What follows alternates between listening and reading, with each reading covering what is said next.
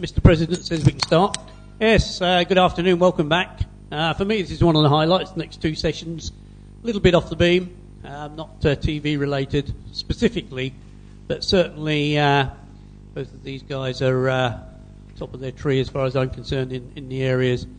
And certainly the preamps is uh, something that's very relevant to what we do. And it's, yeah, it gives me great pleasure to introduce Sam, who's going to come and talk about VHF and UHF preamps. And I would point out, because I'm sure he's going to be too modest to do so, that uh, he's got to stand out there. He's going to be selling the kits of, uh, that he's talking about. So, uh, you know, let's uh, let's see what we can do, Sam. we are going to give them the full time. So uh, Sam's got 35 minutes, and Brian's going to have 45 minutes, and we'll catch up uh, later on. So over to you, Sam. Thank you.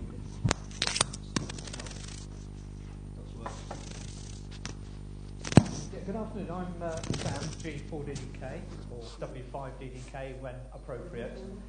Uh, Noel asked me if I would do a talk about uh, my various uh, preamplifiers and preamplifier design, but aimed at the sort of thing that uh, is required for amateur TV, as opposed to maybe moon bouncing or terrestrial DXing. So I've tried to change the format uh, of uh, the original talk such that it now, hopefully, is, is more oriented. Oh, that fall off.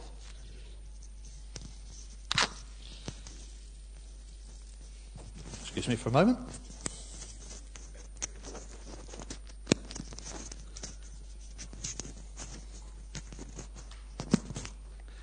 Okay, if I drop that again, let me know. uh, so I've changed the talk, I hope, such that it's more meaningful for uh, TV people than maybe the EME people, which the original talk was aimed at. Uh, this is the basic content of the talk. Um, I'll just talk a little bit about some of the devices that were available in the past that we may have used. Um, I suspect that that will get one or two of you going a little bit. You'll be well into the reminiscence thing. Um, a little bit about uh, the requirements for low noise circuits, uh, meeting those requirements, uh, practical low noise preamplifiers, and then a look at where we may be going from there. And I've got something to show you which uh, you will see in practical wireless, uh, practical wireless. You will see in Radcom in my column uh, later this month. Okay, the reminiscing should have started now. Most of you will, I suspect, are of such an age that you will recognise that particular circuit or something like it. This came from uh, Jessop's um, RSGB UHF manual. By, by you? Well, there you go. So Ian G3KKD published it. Now, that is uh, certainly one of my earliest recollections of a uh, masthead uh, low noise preamplifier. It uses a germanium transistor, an AF139. Uh, we'll talk a little bit about the circuit that's involved in there sometime uh, later on. And there's a picture of the device. Generally, it was mounted uh, such that the screened can, there's four leads coming out of it. One of these is a screen connection, but very often this was connected to uh, a, an internal screen in the preamplifier. But there are a lot of other notable semiconductor low noise devices around uh, that followed on from things like the AF139. I'm sure a lot of you will remember the GMO 290 used extensively in a lot of the Pye equipment. Uh, GMO 290 front ends were very, very popular around that sort of era. Uh, AF239 and AF279, which were later developments of the AF139. Uh, as time went on, we moved on to silicon bipolars, and here the BF180 was a very popular device, particularly at two meters. You could get down to two and a half dB noise figure or better with one of those. The previous circuit, if you got below 3 dB, you were probably doing well. Uh, BFR90 is still used, and uh, something which was quite revolutionary when it came out was the NEC NE uh, 645. This was a little micro X packaged plastic package device, and with that you could get down to about 1 dB on 70 centimetres.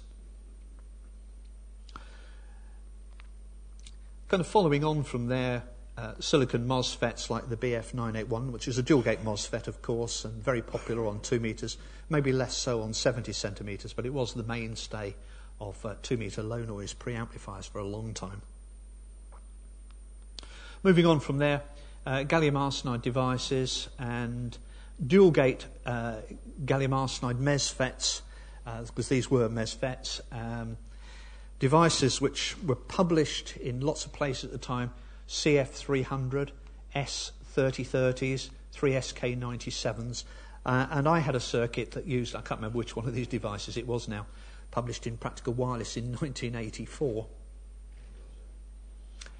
Uh, single gate MESFETs, uh, things like the Dexcel DX35, this was one of the real workhorses for real low noise 70 centimetres, 23 centimetres. Um, I still have a pristine one of these in a box. Not that I ever intend to use it, but it's. Uh, um, I, I, lusted after one of those many years ago, and when I actually got one, oh yes, I'm going to keep this. Uh, MGF 1400s and um, th- uh, 1200s, of course, quite popular. MGF 1302 in MESFETs, again, built into lots of preamplifiers. The SSB Electronics pre- masthead preamplifiers tended to use the 1302.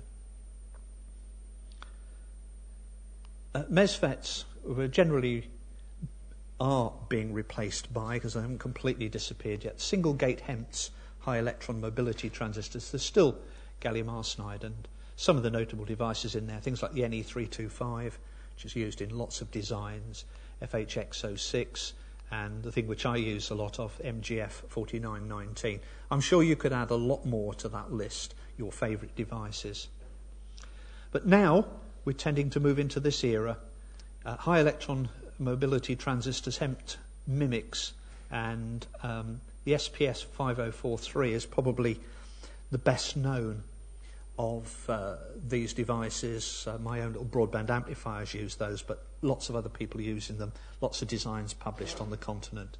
And then just come out recently the SPF 1089, um, which is actually a PGA 103 plus, and we will see a bit more about those later on.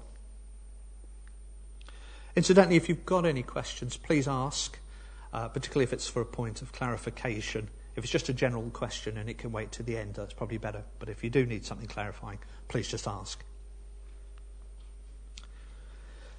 Now, what's been happening is with the development, we've seen the intrinsic device noise figure has fallen. Now, that's important. Note, I'm talking about the intrinsic noise figure of the device itself.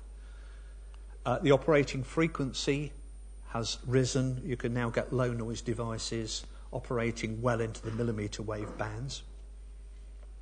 And the other big improvement, has come about mainly through the use of HEMT technology, is the dynamic range has improved dramatically. A lot of you will probably have an aversion to using masthead preamplifiers because when I add a masthead preamplifier to my system, it overloads the preamplifier and I have all sorts of problems. These days, the dynamic range of the masthead preamplifier or the, the active devices is such that that should no longer be your problem. Look downstream for the problems now, not in the masthead preamps.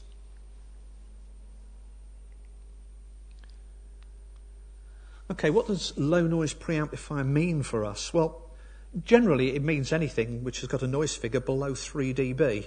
But most radio amateurs will laugh at something with a 3 dB noise figure. For us, 1 dB tends to be the magic figure, unless, of course, you're going for uh, EME operation. But for terrestrial, 1 dB is a, is a pretty good number to aim for. And today, that's so easy to achieve that if you're running a system which has got a 1 dB noise figure, goodness, you're really not trying. Dynamic range is not always important. I'll say a little bit more about that later. And just for the record, currently the low noise uh, amplifier frontier for radio amateurs lies in the 76 gigahertz band. Tom Williams, WA1 MBS in the States, uh, MBA, sorry, has been doing a lot of work uh, on MMIC preamplifiers for the 76 gigahertz band to get the guys going on EME. And that for radio amateurs is where the low noise frontier is at the moment. Can't remember what noise figure he's achieving, but it's, it's pretty good compared with a, a raw mixer.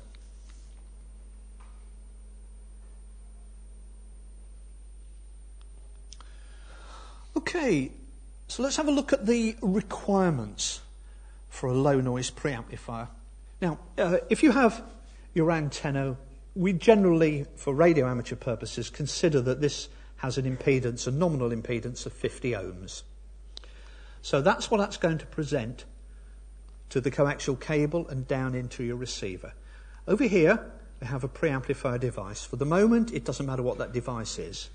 Now, that device, in order to deliver the lowest noise figure, doesn't want to see, very rarely, wants to see 50 ohms.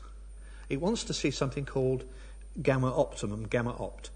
Now, that's an impedance which is not 50 ohms. So, we've immediately got a problem here. Presenting 50 ohms from an antenna, and we've got a device that's saying, no, 50 ohms is not good enough. I need to see this value, gamma opt. So what we need to do is to get these two together. We need to introduce something which will provide a noise match. Now, just, I just want to emphasize this again. This device is looking out towards the antenna, and it's saying that the impedance I see when I'm looking out towards the antenna is gamma opt. At that, I will give you the lowest noise figure. The antenna, on the other hand, is looking in and saying, Here I am, 50 ohms. Ne'er the twain shall meet. Well, ne'er the twain shall meet unless you do this. So we introduce a matching network. Sorry about the uh, gaudy colours. This is usually a low loss matching network, and it's introduced so that when this device looks out towards 50 ohms, it sees gamma opt. When this looks in, it doesn't necessarily see 50 ohms. But this is the low loss matching network that we need to introduce. Noise match. Sorry, Ian, if I'd known you were going to be here today, I'd have left this slide out. noise match? What noise match? this amplifier doesn't have a noise match. However, it's operated in common base, and the impedance looking into there is somewhere in the region, probably 50, uh, sorry, 20 to about 70 ohms. So it's in the right order, and these devices did deliver something pretty close to their optimum noise performance when looking at that. So there is no noise matching circuit in there. It just relies on the inherent impedance. This thing wants to look at something like a nominal 50 ohms, and by heaven, that's what you present it with.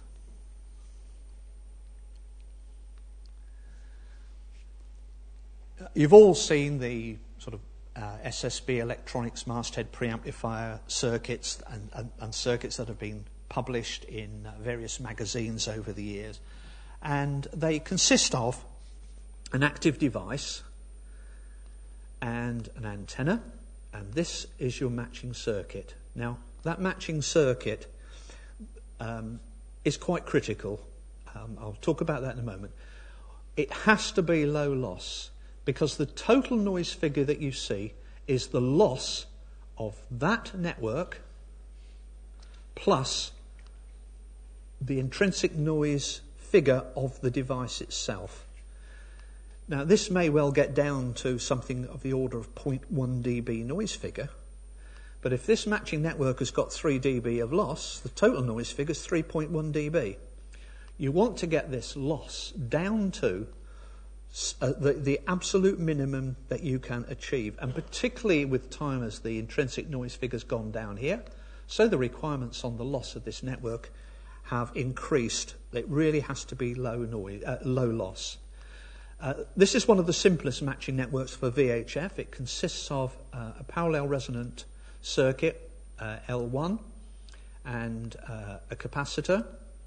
And in this case, there is a capacitor that taps the antenna into the top of the resonant circuit, but it could equally be a, an ohmic tap onto the coil. Generally, this is done because it allows you more flexibility in setting the match uh, than you would get with just a tapped coil. Uh, any of you who've built these sort of preamplifiers in the past of BF981s and that will have probably tapped up and down this coil trying to find the lowest noise figure, and that'll do. Now, that previous one was for VHF. Here are the sort of typical circuits that we use. Uh, this is a coaxial cavity uh, or trough line cavity. This is, um, you would have your uh, FET connected here, probably more likely connected up here. And this would be your antenna connection. But again, you could have a series capacitor here. Uh, this gives a nice high Q, and the reason for that you'll see in a moment. Uh, suitable for 70 centimetres. Over here we've got microstrip. This is microstrip plus wire. Uh, this is microstrip stub, little matching section there, decoupling down here, and this is probably just a wire loop. DJ9BV preamplifier is probably the best known of these. And this is suitable for um, probably 23 centimetres and up. Mini mini kits, Mini kits one as well? Yeah, well, the mini kits one, I believe, is pretty much a DJ9BV if you look at it. Okay, why is this matching network so critical? Right, now the, the loss of that matching network is the ratio of the unloaded Q of the resonator to the loaded Q. Now you want to keep this ratio as large as you can get it. Bigger the better. So the lowest loss is when the unloaded Q is high and the loaded Q is low. However, there are limits to what you can do.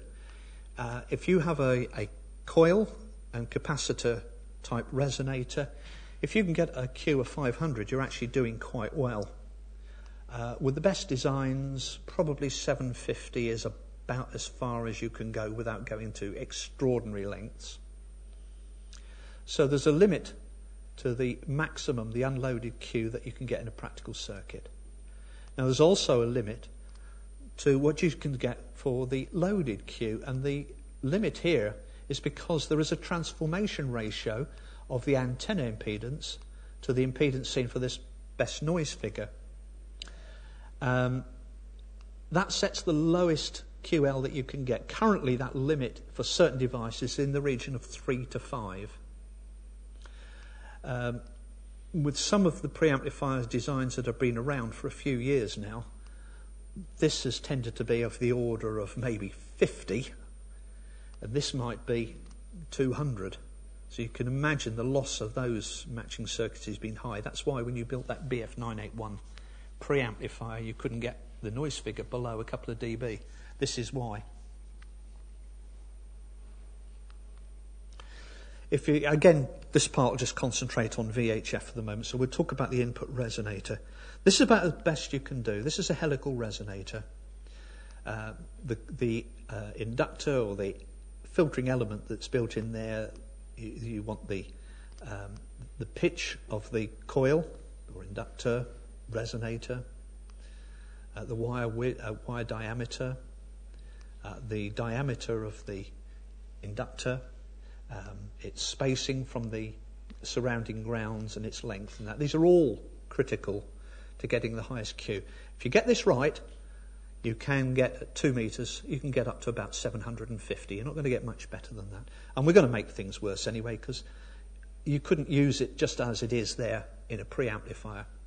Um, tuning it for a start, you would have to squeeze the coil or introduce a piece of metal into the top here as a top capacity hat. And then you've got to connect this to the active device. And then you've got to either have another capacitor here to the antenna input uh, or tap onto the coil. So 750 is probably optimistic in a real circuit. There is an alternative matching circuit which is suitable for UHF. Uh, uh, sorry, this it's not your eyes. It's just I've blown this up so much that the resolution has gone. But here we've got uh, a, a, simple circuit. It looks like a T circuit, but in fact it's actually uh, more like a pi circuit. You've got a, an input capacitor, uh, which is not necessarily that critical to this matching circuit. Um, L1, the series inductor, certainly is. You've got another uh, inductor here which is uh, carrying bias into the device, but it's also part of the network. There's also, not shown here, there's the intrinsic gate to source capacitance of the device itself. And there's not much you can do about that, that's inherent in the device that you have. But that's a very simple wideband and a very low loss matching network. It's nowhere near as critical as the VHF one I was showing you just now. This is very suitable for 23 centimetres, 13 centimetres, 9 centimetres. So guess why I've got it built into my VLNA. And also, with care, down to 70 centimetres.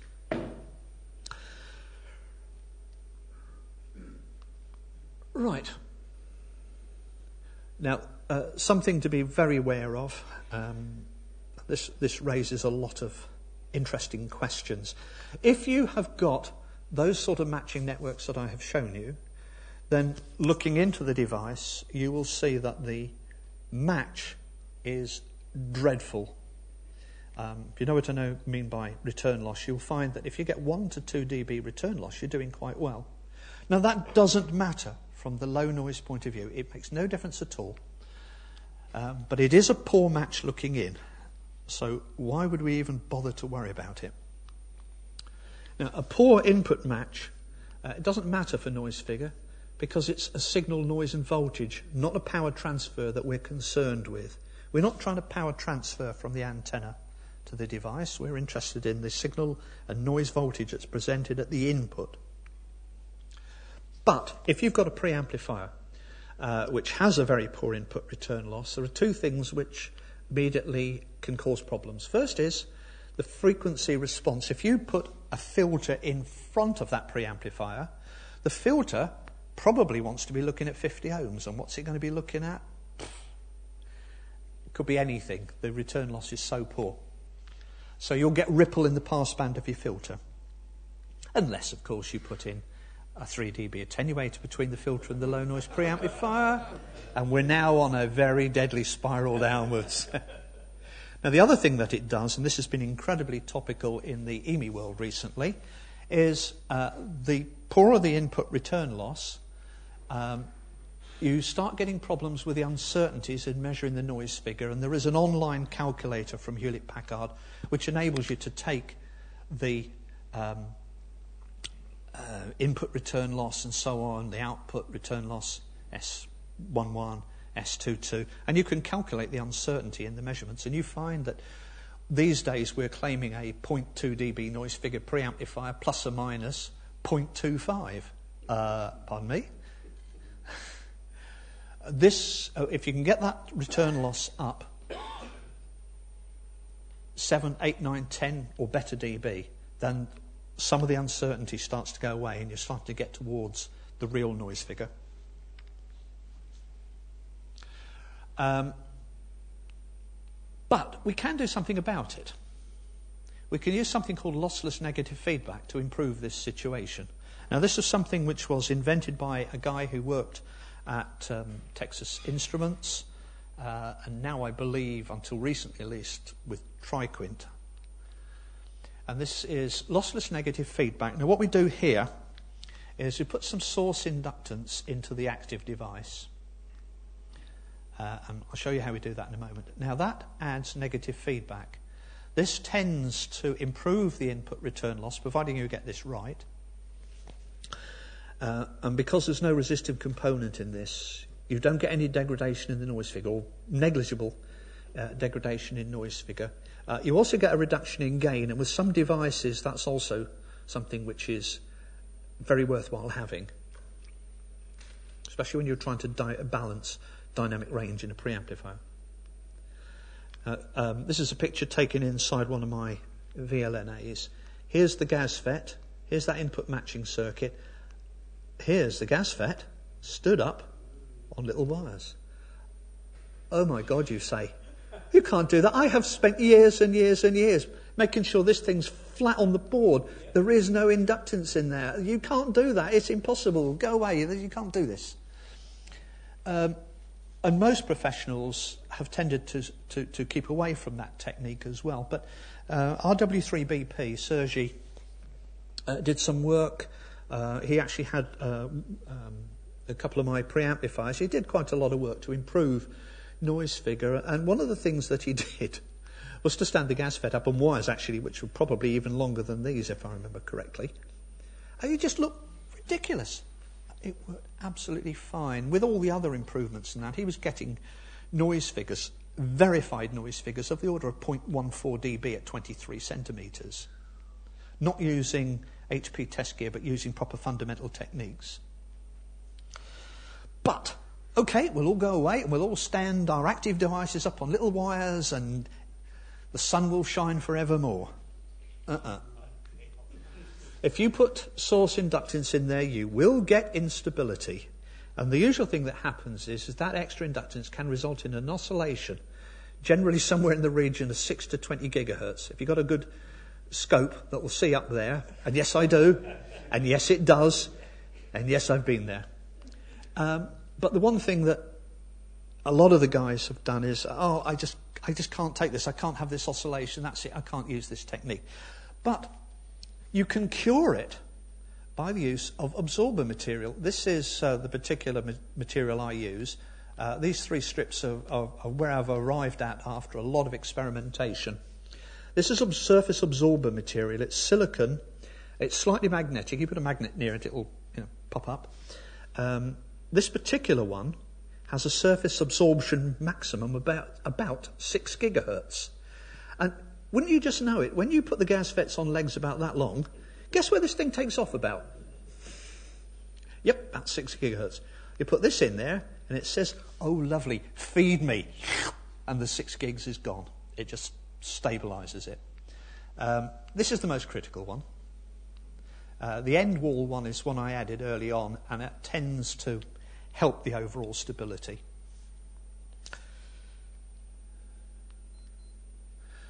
So that brings me nicely on to the VLNA, which is the preamplifiers that I've been making and selling as kits for the last five years or so.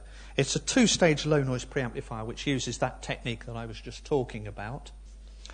Uh, it was originally designed uh, for 1296 megahertz. It's basically the WD5AGO design, but uh, I changed the second stage device because the device he was using was getting extremely hard to get hold of. Sergi then did that work on the long gate, uh, the long source leads, and some other things, and it's gradually uh, changed to become this very low noise amplifier that I now uh, sell.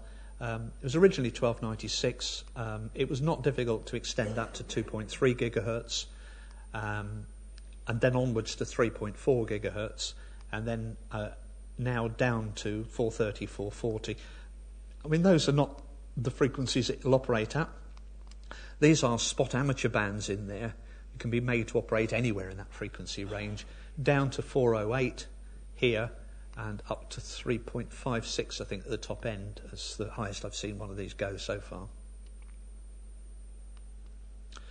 Here's some um, typical noise figures. Actually, they're not typical, they are um, no, uh, noise figures which I have taken the high end. I, when I build these things for people, I don't sell made preamplifiers, but if somebody buys a kit off me and asks me to build it for them, if I've got the time, I will do that. But I record religiously all the numbers that I get. So these are numbers are taken from my test equipment uh, and verified on other test equipment and at the EME conference this year and so on. So on 70 centimetres, uh, better than 0.35 dB. There are lots of preamps around with lower noise figure than that, uh, but not with 40 dB gain. So you have a, a 0.25 dB 77 preamplifier with um, 12 dB of gain, but then you need a second stage and you put that in there, and it's not a good low noise one, and the next thing you know is the thing's hooting. Here we've got 40 dB of gain and it isn't hooting. How are we doing? Right, 23 centimetres, um, point, better than 0.3, down to 0.2. 37 dB of gain, 0.3 now better than 0.3 on 13 centimetres, 28 dB of gain. Is the second stage rolling off. 9 centimetres better than 0.45 and 27 dB of gain. Okay, uh, where are we going next? And, and, the next, in my five minutes left, is uh, the low noise MMICs like the SPF 5043 from uh, RFMD uh, and many circuit labs. This is a typical data sheet. They're 0.8 dB at 900 megs, a gain of 18.2, blah, blah, blah. Yeah, these things are designed to be used as drivers and masthead preamplifiers in mobile systems. Incidentally, I'll pass it around. That's one of the VLNAs. So you want to have a look? I'd like, yeah, I'd like one back, please, if it's possible. but the, um, the SPF device, uh, let's move on. This is, this is this actual one, and you may have seen this in Scatterpoint if you take Scatterpoint. This is quite a remarkable little device, um, kind of one of the first of a new generation of HEMT MMICs low noise, typically 0.6. Well, I'll put some numbers up in a moment, but that's the little amplifier.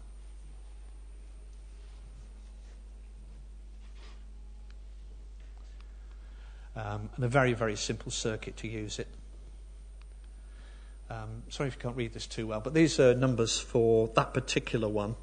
Uh, so we see we've got usable gain still down here at 30 megahertz and a 2 dB noise figure.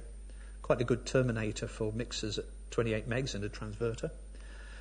Uh, 2 meters, 22.5 dB of gain, 0.68 dB noise figure for that one. Uh, gained down slightly at 70 centimeters, but still 0.68. 1296, we've got 15.5 dB of gain and 0.86 dB noise figure, and so on up. There's still a little bit of gain left there at 9 centimetres, and the noise figure is still pretty respectable for that band 2.3 dB. You can always put a VLNA in front of it if you want a lower noise figure. Uh, so that's a nice little, easy to use device. Um, Kent produced boards for those, which is what I have been using.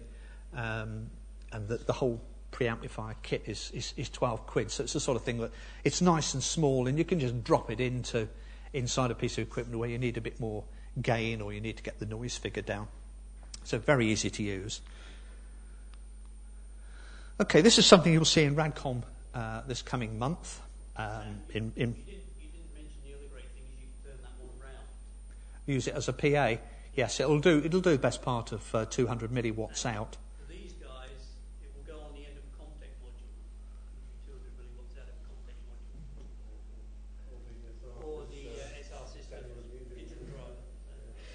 Okay, thanks for that, Noel.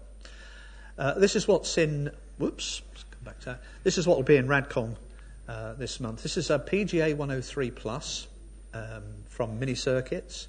It's a ne- next generation on from those SPF 5043s. Now, this thing uh, is also 50 megs to 4G, but we'll go down to 30 megs as you'll see in a moment. We'll go up to 4G quite happily.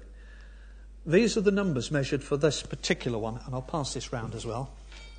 So you can say, oh, look, I, I held that one that was in Radcom this month. Uh, here we see the, these amazing numbers. Look, at 30 megs, half a dB noise figure, 26.2 dB of gain. We go to 2 meters, look, under half a dB from a MMIC. Uh, 25.2 dB of gain. It's got an input return loss of 8.7 dB at that frequency. That's quite remarkable. And again, as you'll read in the article, uh, you can improve on that further. output return loss of 22 dB and a saturated output at that frequency of 22.5 dB. So not at two meters, not quite as powerful as the 5043, but as we go up, I'll, I'll show you we, things get better. So that's 144 megahertz, 432. Well, we're just around the half dB mark, 21.5 dB of gain, 10.6 for, for RF engineers, professional RF engineers, 10 dB and better return losses is is a good match. Uh, 1296, 0.8 dB, 14.1 dB of gain, 14.7 dB output return loss. Um, sorry, input return loss, output return loss 15.4, and P saturated output now 24.5 dB. On 23 centimetres, this thing has got an output intercept of plus 43 dBm. I mean, it's got an input intercept with that gain of almost one watt. Put that at masthead with all these mobile things around you, put a decent bandpass filter after it, then worry about your set top box or whatever that follows it up, because you ain't going to disturb this thing particularly easily. Uh, I only took this one up to, oh, I'm at the end, up to 1600 megs. Thank you very much. Uh, Um, I'll just pass this round. This is uh, an Arlon version um, board for that PGA 103 Plus. Um, I've got the first of these boards in. I'm waiting for some devices. By the end of the year, these will be available. These will probably be about the same price, £12. But have a look, see. These are quite remarkable. Where to next, I don't know. So, Sam, you, you touched on uh, one thing that was really interesting um, the whole idea of using them in systems preamp, filtering, receivers. I mean, and that that is the the way you would recommend. The, the, the, preamps these days are good enough to put natively at the masthead without filtering on the front end, even the, the wideband things. The problem people have is getting good low loss input filters. I, I touched on the subject for VHF there, but for 23 centimeters in particular, with a mobile mast on 600 megs and a and there'll soon be some on 700 megs, and we've got 1800 meg systems, 2.1G systems. Uh, uh, plus the digital TV transmitters. Um, there are a lot of high power continuous carrier signals around you now on these bands. Um, but the mobile operators themselves have the same problems with their own masthead preamplifiers, and these devices have been developed so that they can uh, build filtered um, uh, masthead preamplifiers. The intermodulation uh, problem has gone right down because of the in, input, inter, uh, input intercept of these devices. You can take a leaf out of the same book try it, you may well find that even if you've got a mobile mast half a mile away from you, you don't have the problem that you had before. But you will need filtering after it because all of those signals are amplified and are now hitting whatever receiver system you've got afterwards. So make sure you've got good filtering after the preamplifier so you can get good low noise figure on the input and excellent output intercept on the preamplifiers.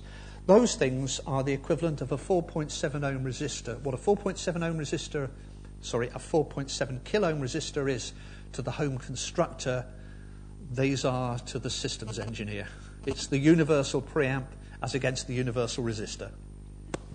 Excellent. Yeah, I mean that's. I think that's really useful to understand that that you can start to put these devices up front without any filtering at the masthead, filter down in the shack. You'll have to suck it and see for any particular location, but we are moving rapidly in that direction. And I mean, I, have used, as you know, several of those SPF devices. There's one on the local UHF repeater here. There's one on GB3IV, the uh, video repeater down in on the Isle of Wight, and you know they seem pretty bomb-proof.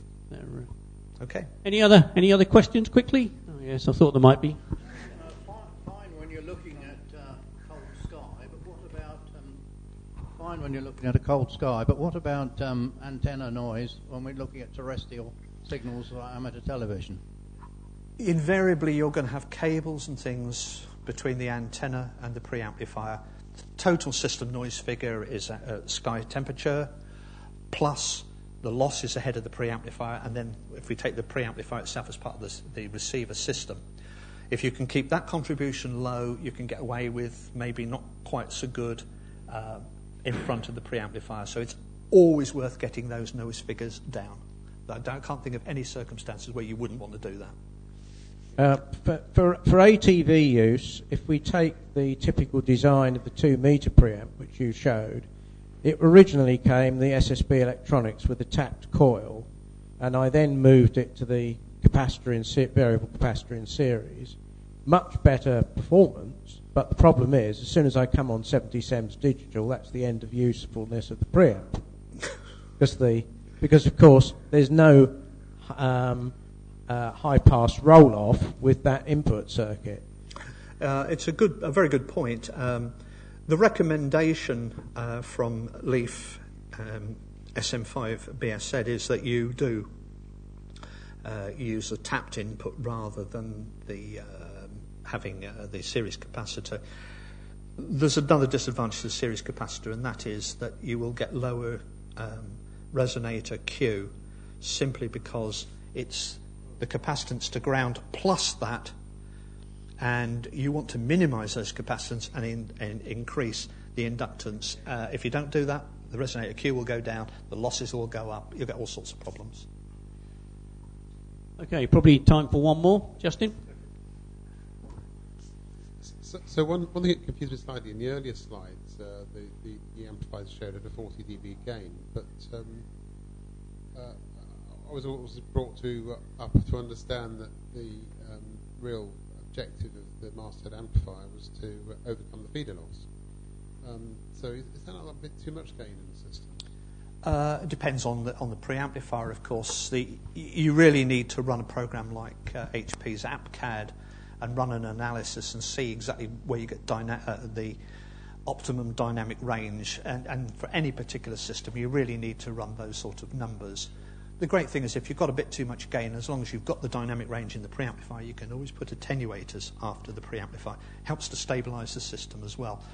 Um, so the short answer is yes, um, don't use too much gain, but if you've got too much gain, it's easier to get rid of it. It's not easy to get it.